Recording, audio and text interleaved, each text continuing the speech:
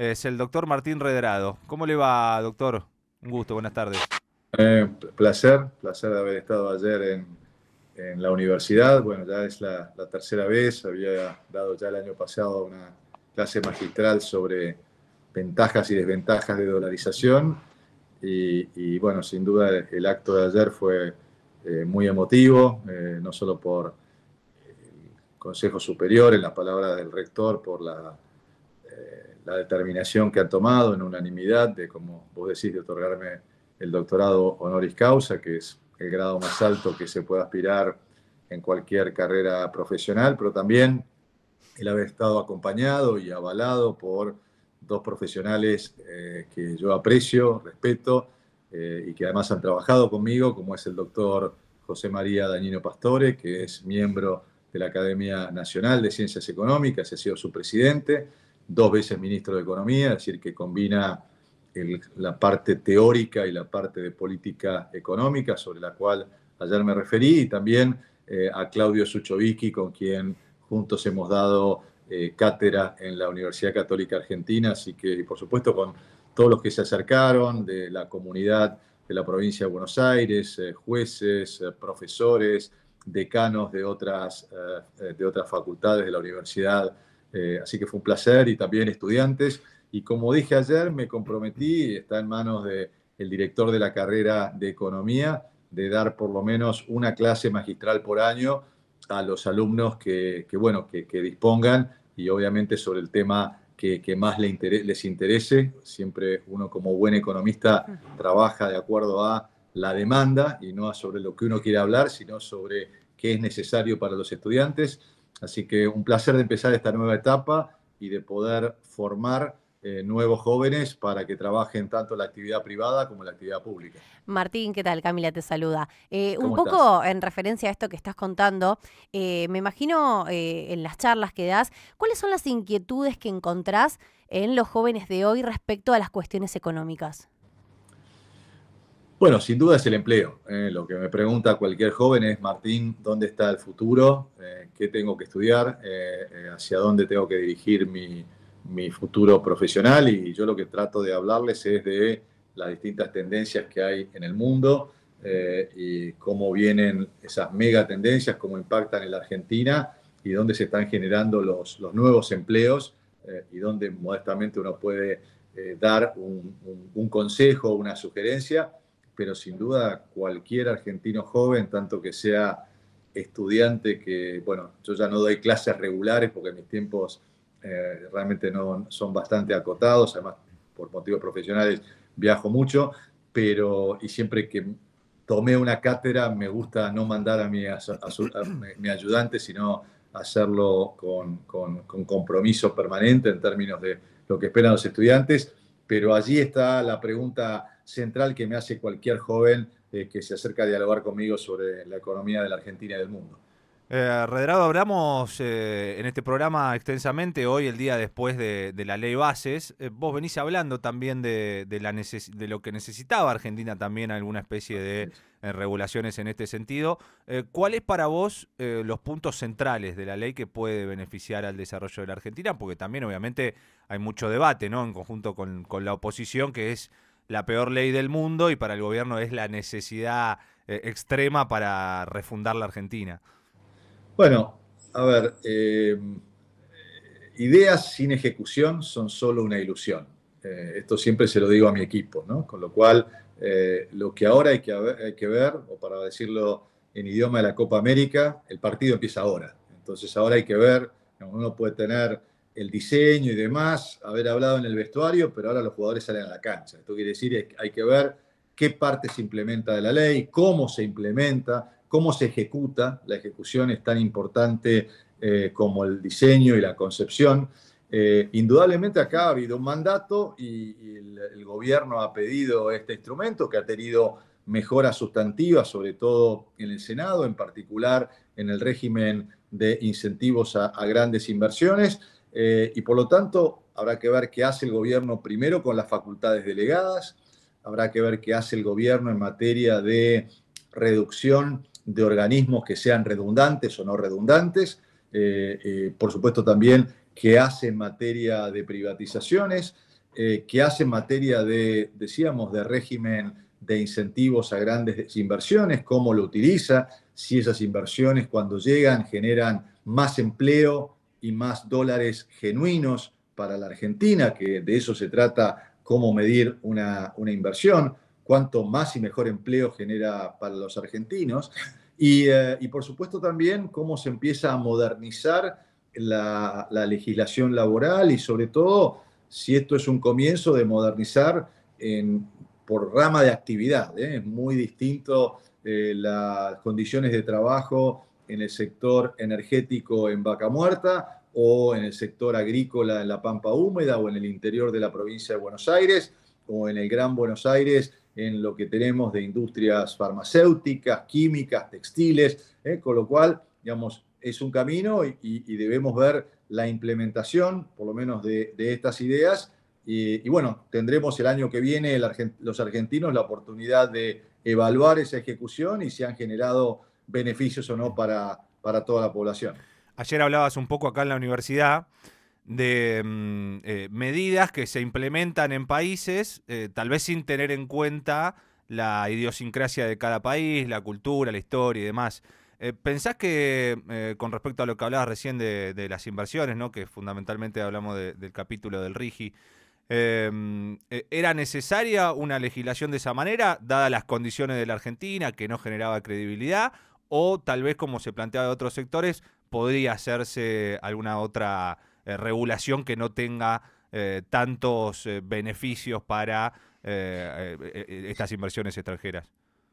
Bueno, yo estoy convencido y siempre lo pregono en mis clases y también lo decía ayer, es que eh, hay dos clases de economistas, aquellos que creen o que trabajan en lo que llamamos equilibrios parciales, es decir, miran, bueno, qué hay que hacer con el dólar, qué hay que hacer con el impuesto país, qué hay que hacer con eh, esta restricción a, las importaciones o esta liberación de las importaciones, eh, qué hay que hacer en materia de subsidios sociales. Y yo estoy convencido que una política económica que tiene éxito debe ser una política de lo que llamamos en teoría equilibrio general.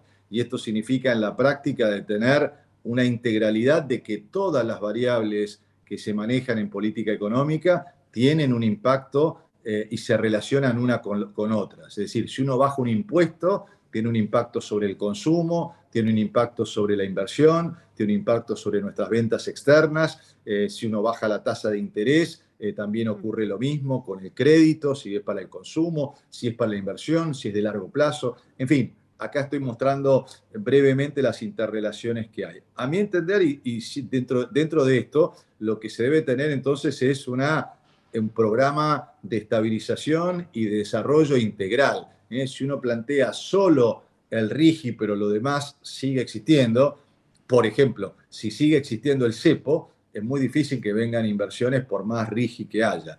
En particular, si me decís que yo haga un zoom sobre el RIGI, creo que ha sido extremadamente eh, eh, generoso, con demasiados incentivos a favor de los inversores y debiera ser un poco más equilibrado esto, eh, sobre todo te puedo dar una, una medida, que es que el 100% de las exportaciones puedan quedar a partir del cuarto año los dólares en el exterior.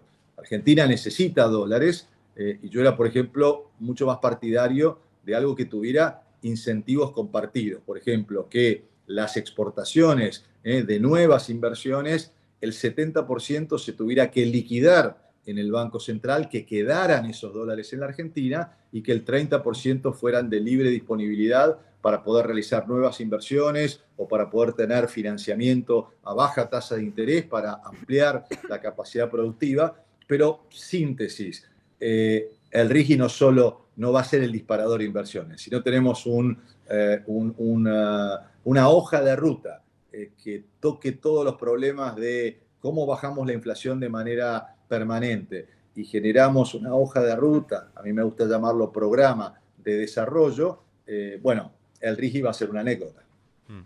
Em, bueno, muchos estuvimos hablando el último tiempo también respecto a la suba del dólar del último tiempo. ¿Vos cómo observás este fenómeno? Vos nombraste recién la cuestión del cepo, se habló de algún momento como que era imposible sacarlo de un momento para el otro. Eh, ¿es, posible esto? ¿Es factible? Eh, ¿Se puede aplicar? ¿Cómo lo, lo ves? Bueno, eh, siempre me gusta ser propositivo en términos de no solo describir el problema, sino de describir soluciones. y creo que esto falta y, es muy bueno el ambiente de la universidad y una radio como la de ustedes para impulsar a quienes entrevisten, que sean hacedores de políticas públicas, decir, che, bueno, los problemas los conocemos todos, ¿eh? decime qué solución propones vos. Y en materia del cepo, es cierto que no están los dólares para sacarlo de manera inmediata, pero el trabajo que hemos hecho con nuestro equipo en Fundación Capital, lo que planteamos es una salida de eliminar restricción por restricción semana tras semana. Para ponerlo como un ejemplo, eh, debiéramos plantear un camino en donde se van sacando todas las restricciones que puso el Banco Central y la Comisión Nacional de Valores de a una.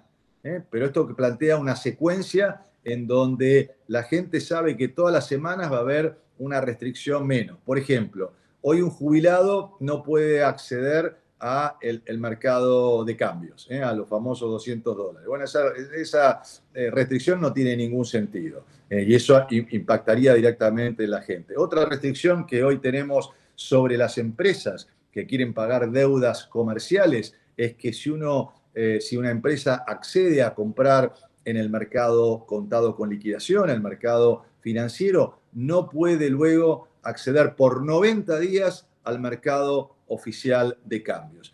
Eh, otra restricción que esta es de la Comisión Nacional de Valores es si cualquier argentino, empresa o individuo compra dólares MEP, llama al banco y dice quiero comprar con los dólares, con los pesos que tengo depositados, quiero comprar dólares a través del dólar MEP, necesita comprar un bono y que ese bono esté estacionado durante dos días. Y esto significa que nunca se cierra el precio final, porque los bonos, como ustedes saben, varían de precio día por día eh, y por lo tanto eh, lo que debiéramos tener es un mercado inmediato. Alguien que quiere comprar dólares en el mercado financiero de cambios, que lo pueda hacer inmediato. Llama a las 3 de la tarde o lo hace por home banking a las 3 de la tarde, bueno, y lo pueda tener a las 3 y 5 y no tener que esperar dos días. Sin el parking, digamos.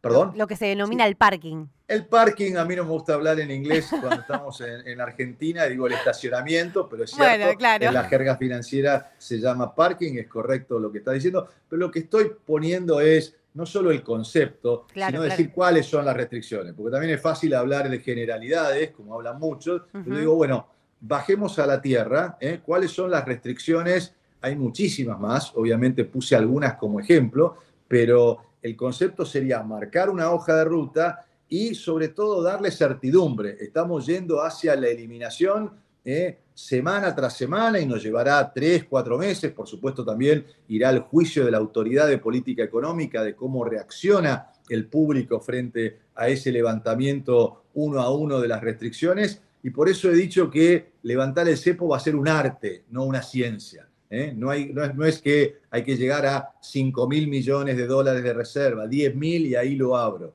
¿eh? Es simplemente ese es el camino que propongo para justamente para tener mayores inversiones. Con cepo cambiario es muy difícil que eh, las inversiones fluyan desde los propios argentinos para que cambien dólares por pesos y los inviertan y por supuesto menos aún para inversores internacionales. Ya para ir terminando, Martín, para no robarte más tiempo, em, en instantes eh, se ha anunciado eh, de manera sorpresiva ¿no? en el día de hoy que va a haber una conferencia de prensa del presidente del Banco Central, de Bausili, en conjunto con el ministro de Economía.